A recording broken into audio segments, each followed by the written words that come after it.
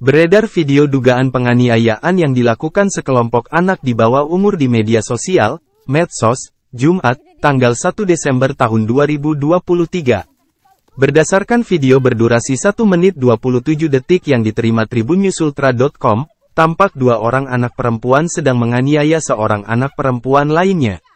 Nampak seragam yang tertampil dalam video tersebut, korban diketahui masih berstatus sebagai pelajar SMP, sekolah menengah pertama. Di mana, dalam video tersebut, menunjukkan korban menerima pukulan hingga tendangan yang membuatnya tersungkur ke tanah. Sambil meneriaki anak perempuan tersebut, salah seorang teman lainnya merekam video yang diketahui diunggah pada story Facebook pribadinya. Tampak pula tidak terdapat perlawanan dari korban, ia hanya berusaha berdiri dan menjauh dari wilayah tersebut tetapi tetap menerima teriakan dari pelaku. Dalam video tersebut terdengar pula pelaku berteriak kepada korban, Kopika, A asteris asteris asteris eng, Kopika, sambil memukul korban dengan tangan yang sudah tersungkur ke tanah. Korban yang tetap berusaha menyingkapkan kembali kerudung yang dikenakan dan bangkit ditarik oleh pelaku dan menerima tendangan. Sementara, seorang pelaku lainnya menahan agar perundungan tersebut tidak terjadi kebablasan. Kejadian ini diketahui bermula karena kesalahpahaman antara pelaku dan korban. Insiden tersebut terjadi di kebun jambu desa Ungkolaki, Kabupaten Buton Tengah, Sulawesi Tenggara. Untuk menanggapi hal tersebut, unit Resmob Polres Buteng bersama personel Polsek Mawasangka mengamankan pelaku di Polres Buton Tengah.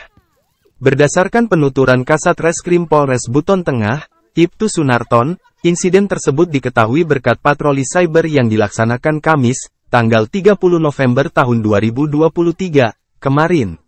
Kami menemukan insiden perundungan tersebut berkat patroli cyber yang kami lakukan serta menemukan aksi perundungan tersebut, ungkapnya, Jumat, tanggal 1 Desember tahun 2023.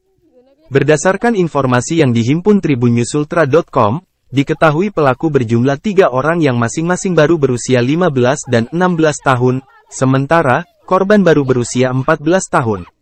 Untuk saat ini pelaku perundungan tersebut diamankan di Mako Satreskrim Polres Buton Tengah.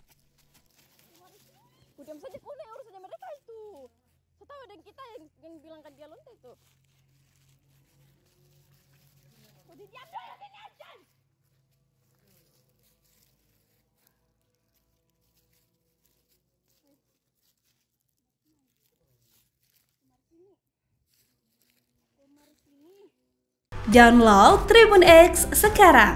Menghadirkan lokal menjadi Indonesia. Terima kasih sudah nonton. Jangan lupa like, subscribe, dan share ya.